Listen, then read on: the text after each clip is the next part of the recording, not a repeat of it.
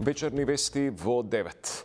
400 ковид случаи и 11 починати е последниот биланс за состојбата со коронавирусот во земјава.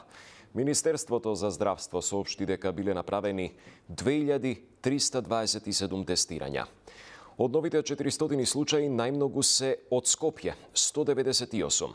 28 има во Куманово, 19 во Кабадарци, 16 во Тетово, 14 во Прилеп и во Велес 12 во Охрид. Во останатите градови бројките се помали. Од починатите 11, 5 мина се од Скопје, инаку сите починале во болнички услови. Институтот за јавно здравје регистрира 206 здравени пациенти. Бројот на активните случаи во земјава изнесува 12.683.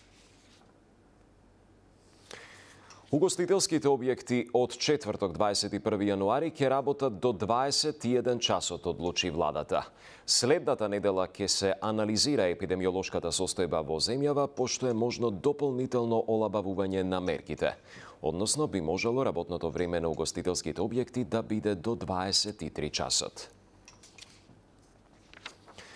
Во моментов имаме стагнација на кривата на заразени. Сепак, нови поголеми пикови од продолжувањето на работното време на угостителските објекти не би требало да има, вели професор доктор Драган Даниловски за Канал 5.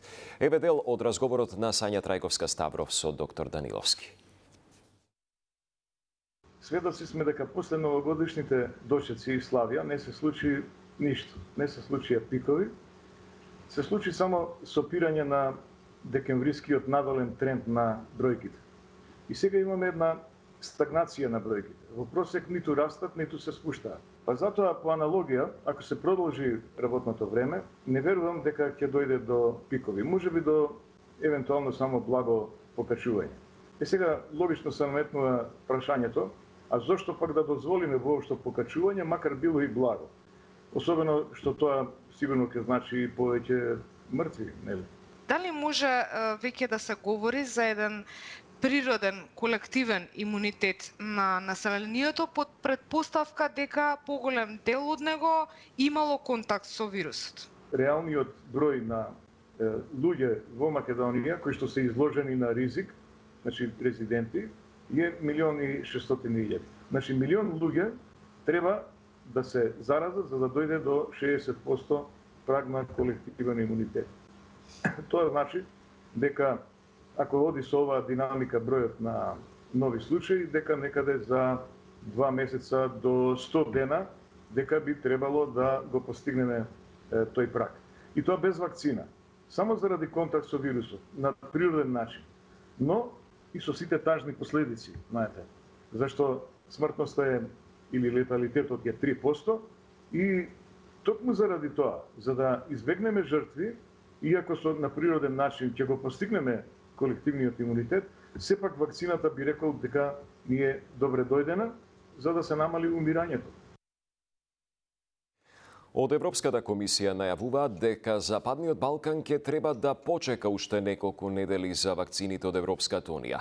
Во меѓувреме 8000 Pfizer вакцини ќе стигнат од Србија. Српскиот председател Александар Вуќиќ денеска изјави дека помошта од Србија со вакцините е братски и пријателски потек.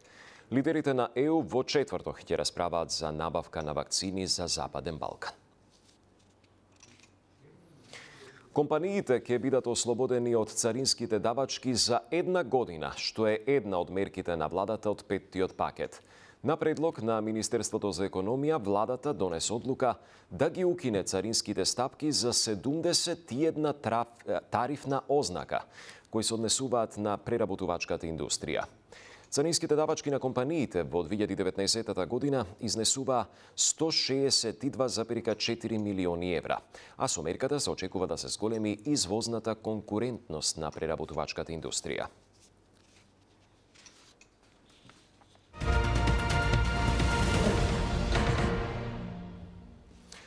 Богојавление водици кај нас годинава мина без досегашната традиција на масовно скокање по крстот. Сепак во Охрид група верници се искапи во езерото, а крстот беше фрлен во Казан. Деталите од Михела Димовска. Вековната традиција за големиот христијански празник Богојавление Водици продолжи, но на поинаков начин поради ковид пандемијата.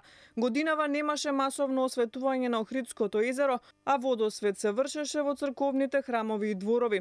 Светиот крст наместо во езерските води, овој пат символично се фрлаше во црковен казан во светиот храм Никола Гаракомија, а стрекниот фаќач е Никола Чорбески од Варош. Ова година ми беше мене среќата, секоја година се капиме, ова година мал, на малку поинаков начин, али среќата била за мене. Господ здравие на сите и за многу години. Верниците од утрото присуствуваа во црквите каде се служеа свети божествени литургии. Велат за охриѓани нема позначаен празник од денешниот. Најзначаен од све. Денеска дојдовте во црква? Да да направиме, да запалиме свече да здрави да све. И штета што вака мора да биде, али Господ ќе поможи, ќе биде подобро. Мораме традицијата да си продолжи, скокам од дете уште мало и пак ќе скокам. Да. Ќе скокнем и за тие што не може да скокнат, ќе скокнем нас.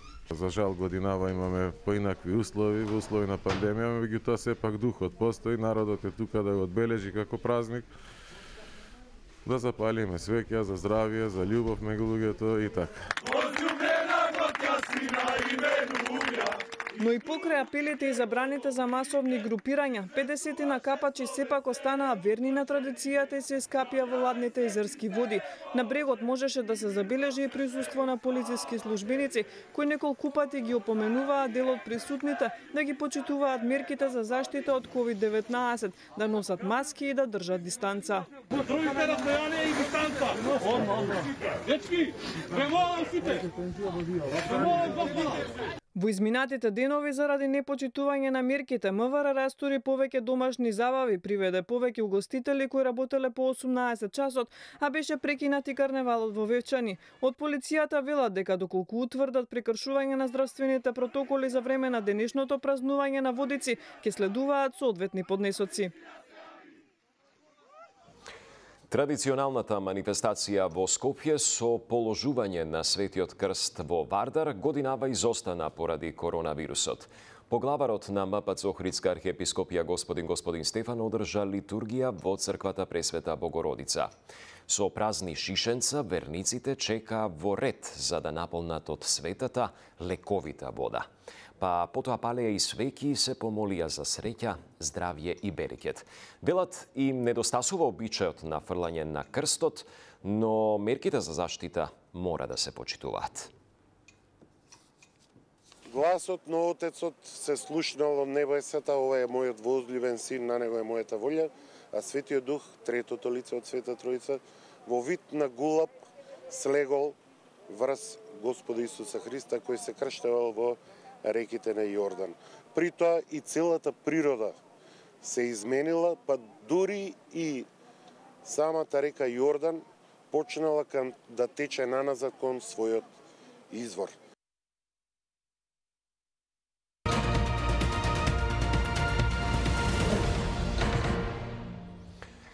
Инаугурацијата на новоизбраниот председател на САД утре во Вашингтон ќе биде ден каков што не се памети. Демократот Џо Бајден и неговата подпредседателка Камала Харис ќе положат заклетва во напуштен град полн со војници.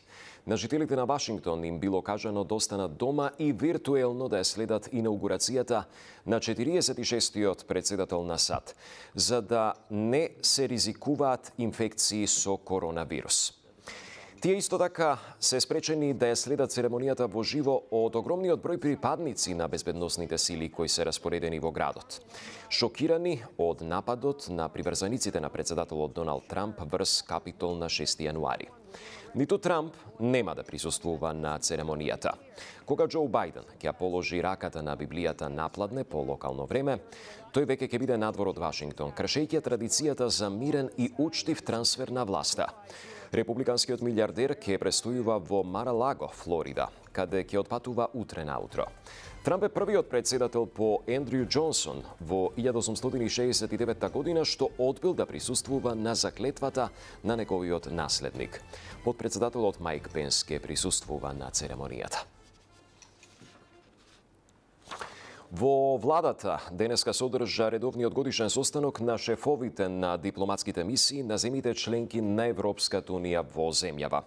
Премиерот заев пред ЕУ амбасадорите, предводениот шефот на делегацијата на ЕУ во Скопје Дейвид Хир, детално го образложил континуитетот на тековните реформски процеси, особено во делот на правосудството, борбата против корупцијата, реформите во јавната администрација.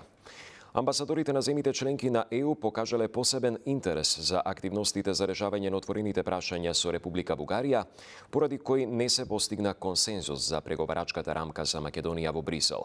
Зашто на состанокот било истакнато неподелено мислење дека процесот треба, колку што е можно побргу да продолжи и да заврши со старт на преговорите за членство на земјата во ЕУ.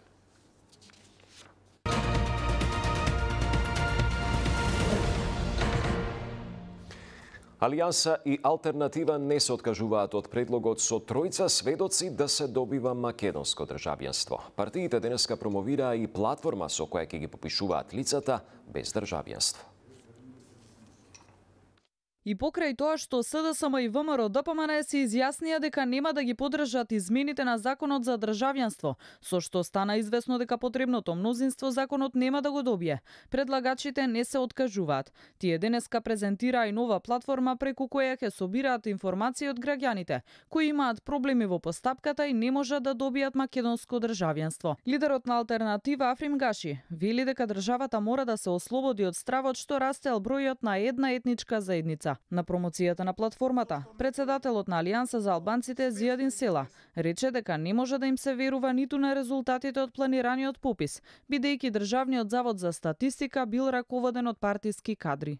Ние имаме многу средини, пример во Скопје, Гостивар, Тетово и многу други градови, каде што пред 20 години во одредена населба сме имале 5 куќи, а сега имаме 20 згради.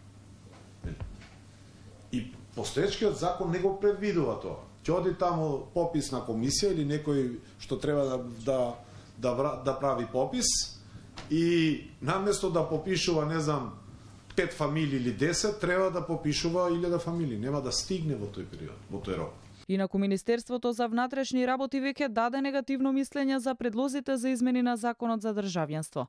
Најмногу реакции предизвикаа условите, со кои се предвидува со само тројца сведоци да се добие македонско државјанство. Наместо со 8, со 4 години престои странците да имаат право да станат полноправни граѓани, како и познавањето на македонскиот јазик, да се замени со фразата познавање на најмалку еден од службените јазици во државата. Ви благодариме за вниманието. Пријатна вечер.